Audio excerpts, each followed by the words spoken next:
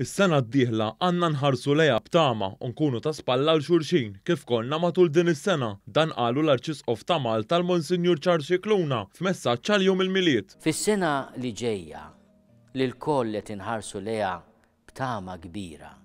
Hemm bżonn inkunu xhieda, bħalma għamilna f'dawn l-aħħar xhur, tal-għożża li għandna għal xulxin.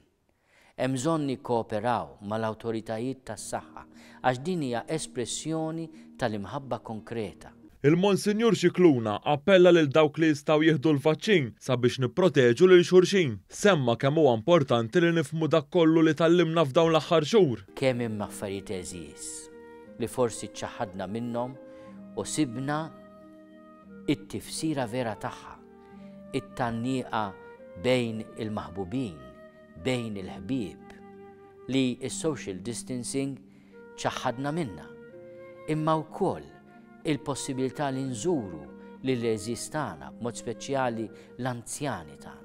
L-Arċisqof ta' Malta qal kif meta nħarsu lejn il-Prasepju nifhmu li anke għal Marija u Ġużeppi l-ħajja ma kinitx biss wart u żar imma kienet ukoll sfida bħalma hi għal ħafna minna. Huwa faħħar lill-ħaddiema mis-settur tas-saħħa li kienu minn ta' quddiem u qal kif huwa għandu messaġġ ta' tama għall-poplu Malti. Il-kelma tiegħi hija kelma ta' tama għall poplu tagħna.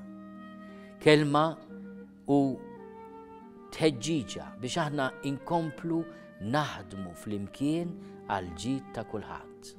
Il-ħsib tiegħi wkoll imur lej tant nies li jistgħu biss isegwu il-quddiesa permezz tat trasmissjonijiet li għamilna matul din is-sena.